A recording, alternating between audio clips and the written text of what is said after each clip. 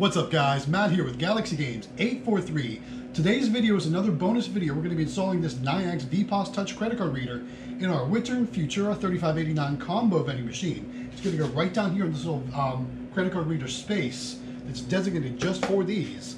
Um, and then we're going to get it ready to go. So uh, we did a video like this in the past, but there were some comments where people had some more questions. So I want to do a little bit more deep dive into it in this video show you exactly how we uh, get the area ready in order for it to, it to, be installed. And then after we're done and it's all working, we're going to do a separate video where we actually get all of our MDB codes and program our product map in the Nayax back office. Now I want to remind you, if you're interested in getting some Nayax credit card readers for your machines, you can go to shop.nayax.com, use the checkout code GalaxyGames843 when you're checking out to save yourself some cash. All right, let's go ahead and get let's go ahead and get started. We're going to open the machine up. We're going to power it off, open it up, and get to work. Enjoy the show.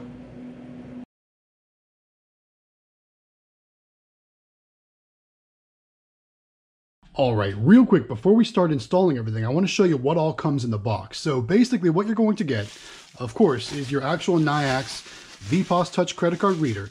It's got a mounting plate already installed on it. And if I recall correctly in our last video, this one was kind of thick for this machine.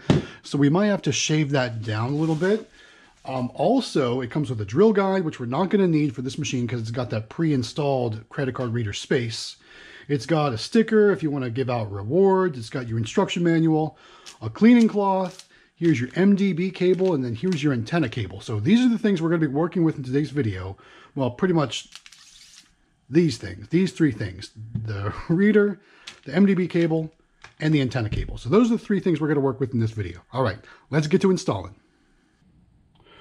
All right, so what we need to do first is we need to remove the coin mech in order to get to the area where we're going to install the credit card reader. And then what we'll do is uh, we'll run the wires out the side from behind the coin mech here so they're not in the way. Then we'll reinstall the coin mech. So the question in the last video was, is how do you remove the coin mech and how do you install this and then put the coin mech back on? That was the big question. So what we're going to do first is we are going to, let's see, we're going to remove this uh, coin chute right here first. And I'm, I'm trying to get this on camera as best I can. Let me slide it in just a little bit closer.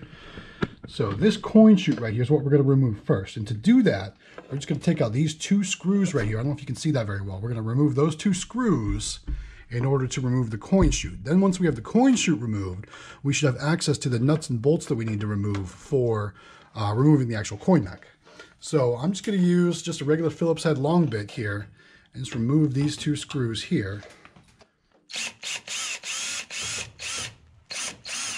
Of course, you don't want to lose these screws, so make sure you uh, keep a good hold of them. So there's one. Let's go and remove the other one.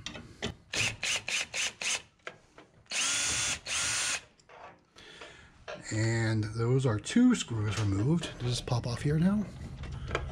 No, I guess we got to remove these smaller ones too. All right, let's remove the smaller ones.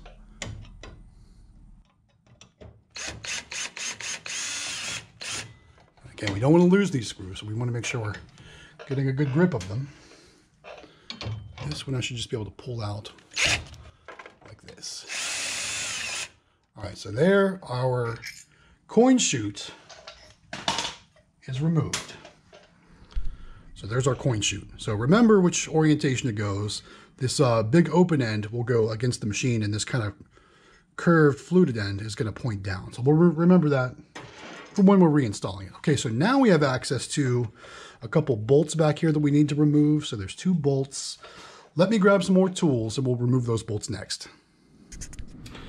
All right, so the next two bolts we're gonna move, remove are these two bolts right here and here. They are 11 30 second bolts, so you'll need an 11 30 second socket. I've got mine set up on like an extension so I can get in there pretty easily. Um, again, I know it's going to be tough to see here on camera, but I'm just going to remove those two bolts next.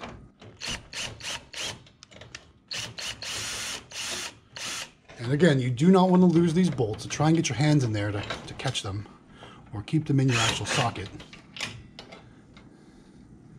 So good, mine fell straight down and sitting on the actual coin mech. Let me go ahead and grab it so I don't lose it. Here we go, there's our, our, our nut. And we're gonna do the same for the other side here.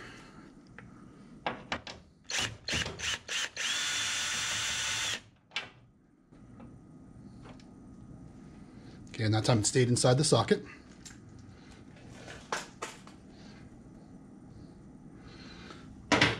Aside. And now I can't remember if, there, if there's any more, if this just pops out now. Let's remove the coin tubes first, so that way we're not spilling coins all over the place. You know how much I like to spill coins in my videos, right? Okay, I feel like it's still connected somewhere.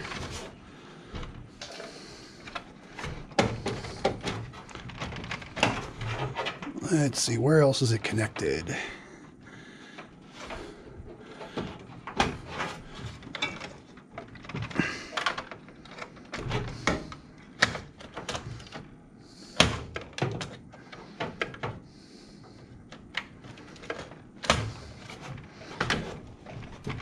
The part I, I do struggle with, so let me, uh, let me figure out how this comes off. I'll be right back. All right, so I removed two screws down here at the very bottom. There's two screws, two Phillips head screws. These are what they look like. Right here from the very bottom. And now this whole piece should come out.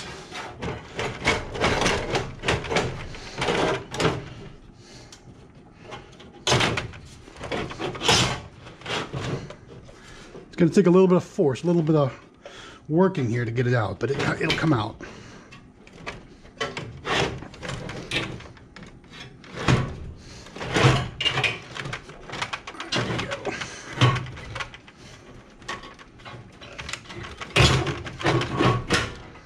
All right, we're gonna go ahead and disconnect it up here at the top too. Here, let me show you up, up here at the top. I'm just gonna disconnect it from this connection right here. So now it's out of our way. Set it off to the side. And now we have full access to the spot for the dollar bill acceptor. So I'm noticing it's mine. Let me show you this here. So here's our spot for the dollar bill acceptor. Now I'm noticing that the frame on mine is bent a little bit. So I'm actually going to try and bend that back, I think. I think I'm going to and bend that back. Well, let's test fit the, uh, the machine first. So let me go grab it. Basically what you're going to do is you're just going to mount it in here just like so. And so as you can see, just like the last time, this uh, these these these bolts are too short for this frame. This frame is super thick and it's not like a thin sheet metal one. So we're gonna have to actually grind down, I think. We'll have to grind down this frame so we can get um, good bolts on there, nuts. And, and that's one thing that um, apparently I don't have because they didn't come with the machine. So I did buy this machine secondhand. So I guess I'm gonna have to find some nuts to go on there too. So let me let me do some work. Let me let me find some nuts, and then uh, I'll show you how I grind this down. I'll actually take it off of the dollar or the uh, credit card reader so I don't damage it. So let's do that next, and we'll figure out our next steps. All right, this next step isn't for the faint of heart. It's not the easiest thing. So I'm actually using uh, eye protection, ear protection, and I've got a glove on one hand. That way this tool doesn't uh, doesn't hurt me. So what, the, what this is, this is just your basic grinding wheel grinder. I'm just going to kind of slim down the four spots where our bolts are going to go. So we, it's these two bottom ones and these two top ones. So I need it to be thinner in those spots so I'm going to use this tool to slim it down. Now this is pretty noisy, so I'll, uh, I'll probably just uh, put some music over this or something. So let's go ahead and grind these down a little bit.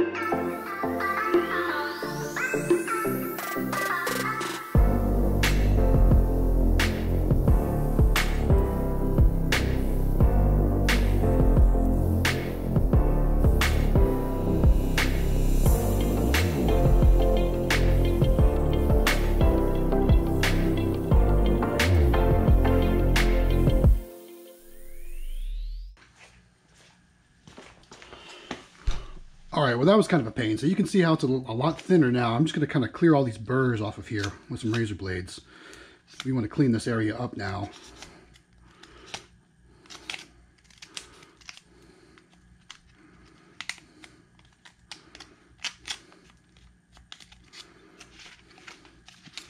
Because it does kind of make a mess. So just clean all this area off.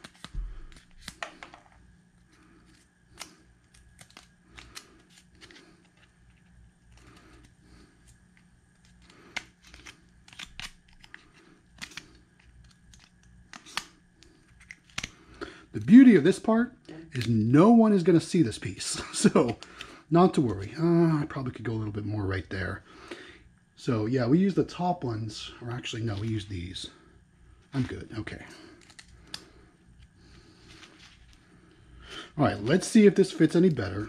Still clean this up. Again, no one's gonna see this piece, so this piece doesn't really matter. We just needed it to be thinner, so that way we can put the bolts on it. Now I gotta go find some bolts. So I'm gonna go find some bolts, and then we'll put it all back together. All right, I found some bolts for us to use. I put the um, mounting frame back on the VPOS Touch reader. Next, we're actually going to take this little plastic door off and we are going to make our wire connections because it's a lot easier to make our wire connections out here before it's installed rather than when it's installed in, in, in the machine. So we're going to be using our MDB and our antenna connections.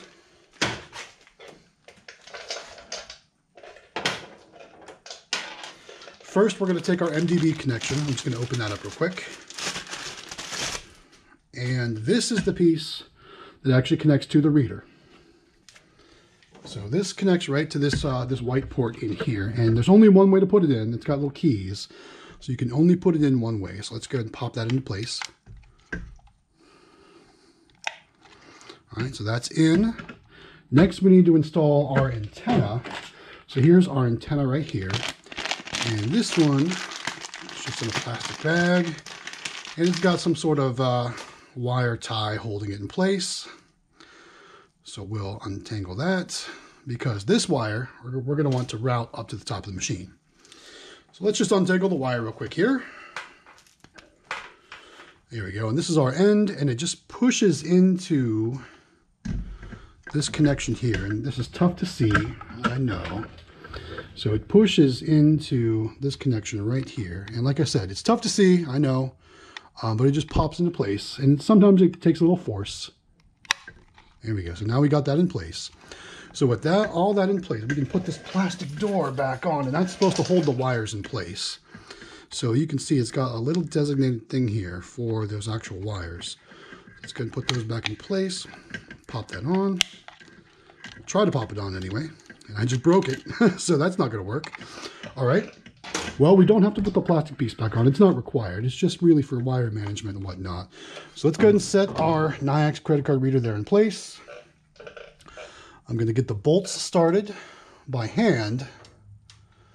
And then I'll probably use the ratchet set to tighten them up.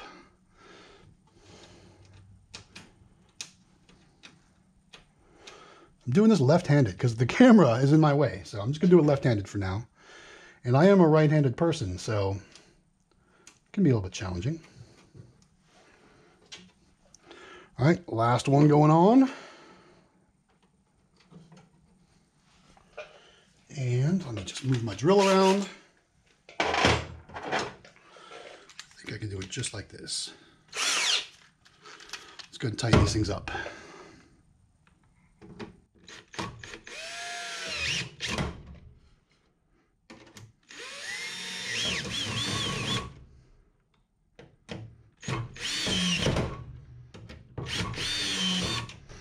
All right, so let's take a look at the front of the machine.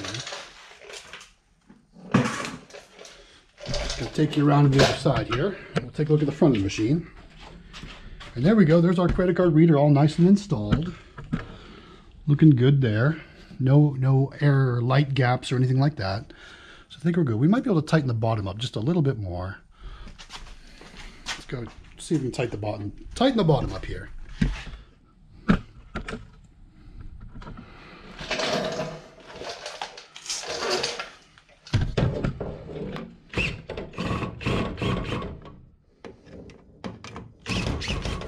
think that's about as tight as the bottom's going to get. All right. So from here, what we know is we need to route the wires off to the side.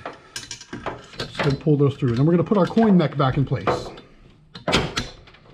So wedging the coin mech in there is probably going to be fun. Let me move this over here a little bit. And again, I just want to keep these wires out of the way. So I'm just going to kind of move them out of the way for now. Just going to try and fit this back in place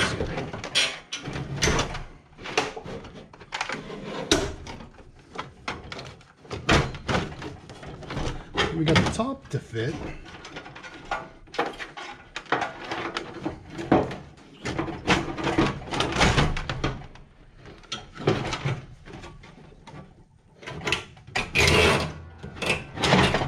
I swear, taking the coin mech in and out is probably the most difficult part of this, honestly. So you can see I'm still trying to wedge it in here, while at the same time keeping these wires out of the way. There we go. All right, back in place for the most part. Let's get our everything lined up the way it should be.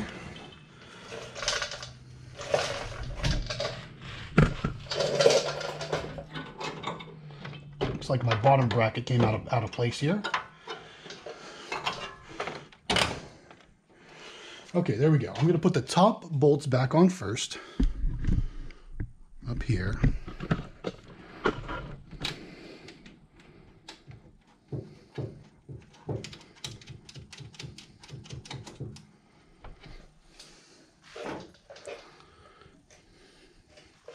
this one is always challenging. It's so hard to get to this one. So I'm actually going to put this one in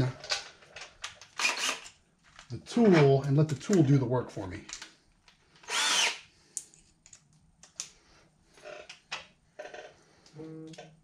Because it's real hard to get your hand into this one. So I don't know if you can see how challenging just this is.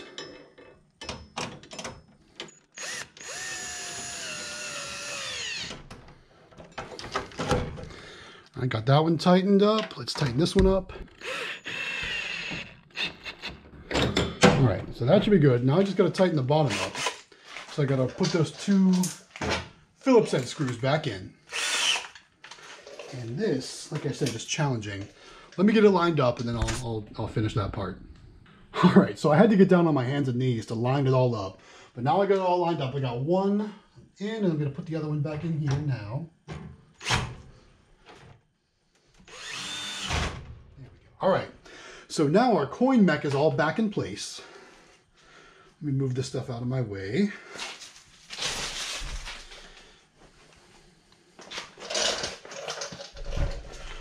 Coin mech back in place. We can put our coin box and our coin tubes back in the machine. So here goes our coin box.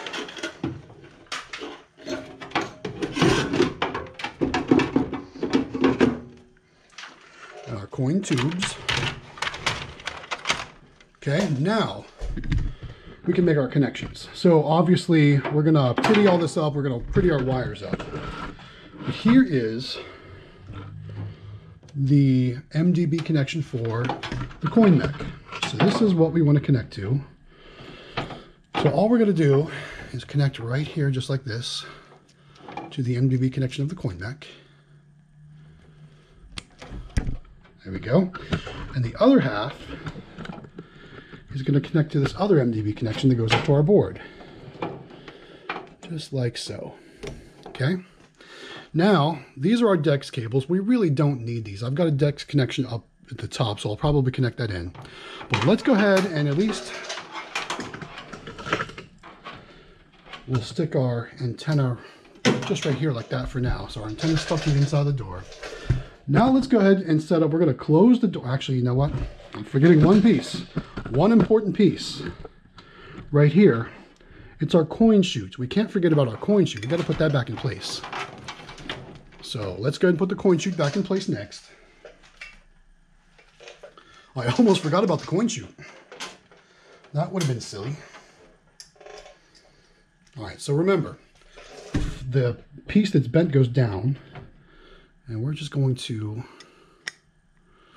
how did this go in again? Let's see. This went like so, like that. How did those lower pieces connect? Now I don't remember. I don't remember how I did this part. Hmm.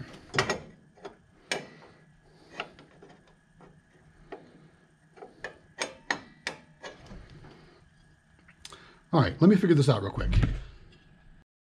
Okay, here we go. So I got confused for a minute. Um, I took out these two top screws up here. I know, I know it's tough to see it. These two top screws. I didn't need to take those out, so I put them back in. Now, the smaller screws are going to go through these little side pieces here. Those are going to connect in to the lower holes. So let's go ahead and connect those up Again, don't lose your screw. Let me put it inside my drill bit here. There we go. All right. So all I'm doing is I'm setting it in place and this camera is right in my way, of course. Let me move the camera over. Hold on. You really can't see it at all like that. All right. That's about the best I'm going to be able to get it. All right.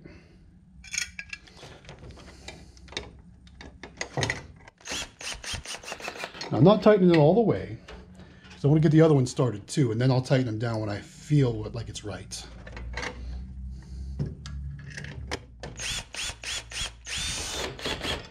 That looks good.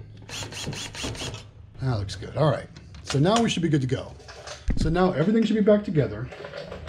Let me just clean up my work area a little bit. And we'll plug the machine in and watch it power up. So let's do that next. All right, let's power the machine up.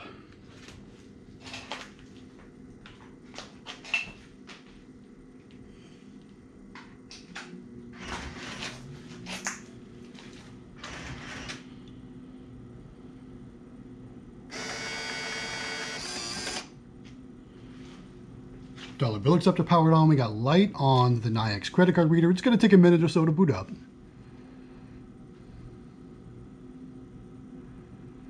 So we'll let it just do its thing here for a second.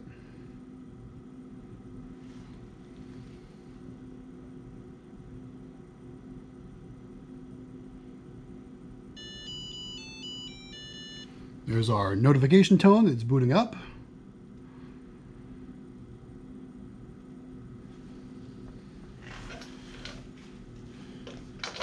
And there's our Nayax logo. Again, it's booting up right now, so it's going to take a minute or so at boot up.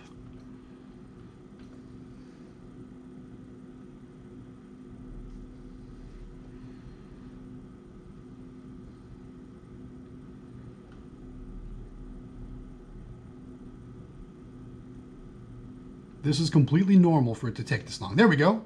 Oh, it actually, actually uh, it booted all the way up. Now it's going to reset itself. That's right. The very initial time you set it up, it's going to boot up, show a screen real quick, and then reset itself again. So it's probably applying any firmware updates or anything else like that. There's our notification tone again.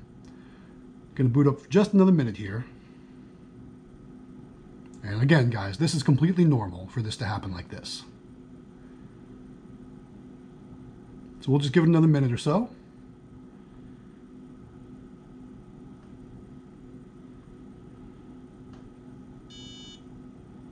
There's the Nayax logo. And then this should be the final time. I don't think it restarts again after this. So once it's booted up, it should be good to go.